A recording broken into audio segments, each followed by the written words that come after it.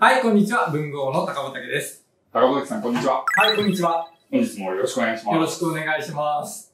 えー、第4回目になりましたよ。はい。ひらめき教室。はい。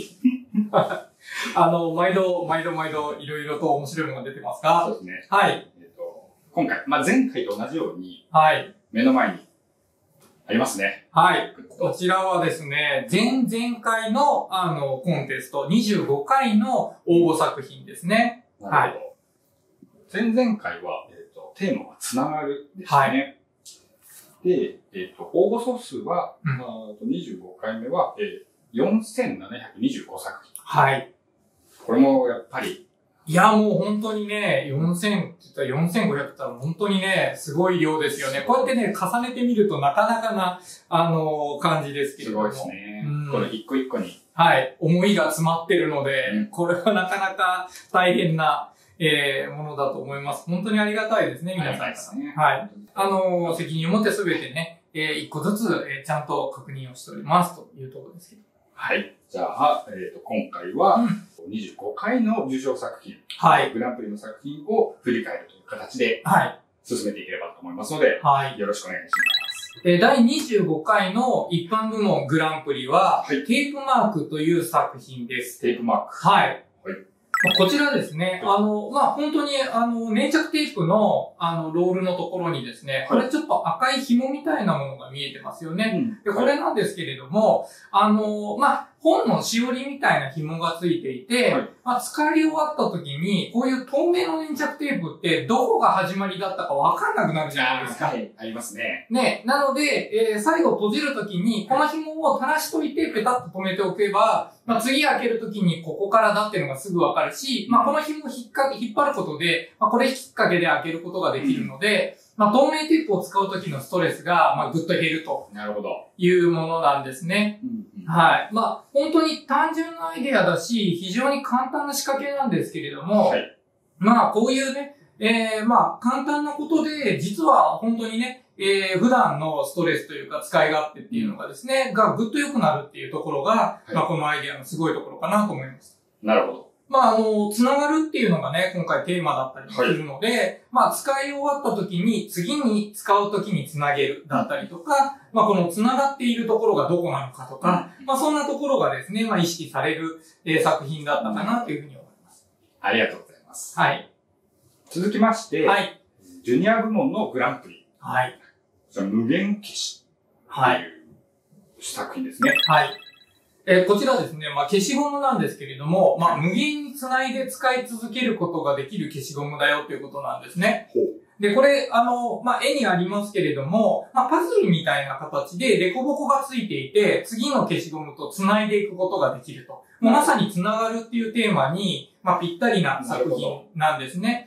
で、消しゴムってどうしても短くなってきた時に小さくなったら使いづらいんですけれども、はい。そこに次の消しゴムを足してあげることで、まあ、使い続けることができますよというまあ、アイデアなんですね。はい。で、あの、これまでも、まあ、消しゴムを連結するっていう発想自体はですね、別になかったわけではないんですね。他にもいろんなアイデアがあったと思うんですけれども、はい。このアイデアの秀逸なところは、はい。まあ、あの、その消しゴムをつなぐために、まあ、そういう形の消しゴムを売るのではなくて、はい実は長い消しゴムと一緒に、えーこのカッターがついてるんですね。この消しゴムを、まあ、デコボコの形に切るためのカッター付きで長い消しゴムを売ることによって、自分の好きなところで切ることができるし、あと好きな色との組み合わせとかもできるので、まあ自分でアレンジすることもできるっていうところがすごいところですね。なるほど。はい。まあなので、まあこれは本当にあの、使い方とか、まあその、えー売り方、使い方みたいなところまで一歩踏み込んでいるところが、まあ高く評価されたかなと思います。なるほど。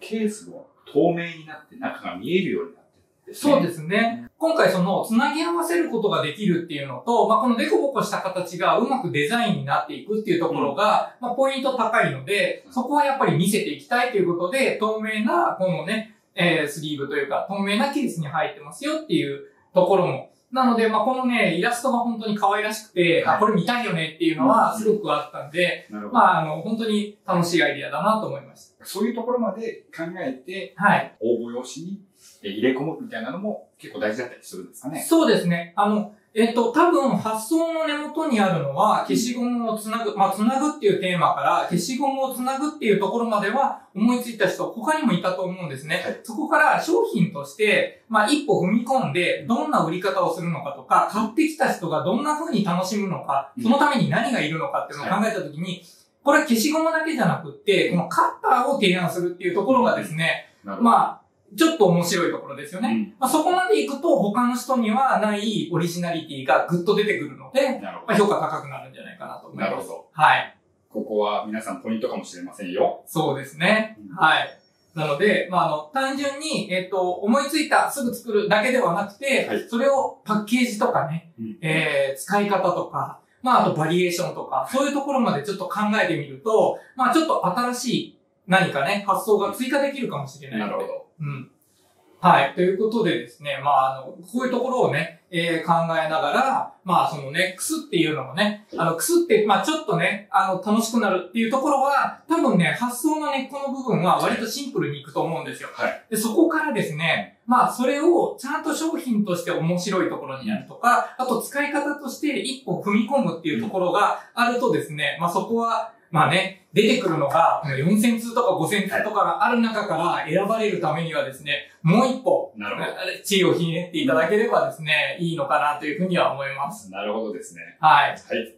ということですので、あの、今回もですね、あの、ぜひぜひ、えーご応募いただければと思います。あの、皆さんのアイディアが商品になるかもしれませんので、ぜひ頑張って応募してください。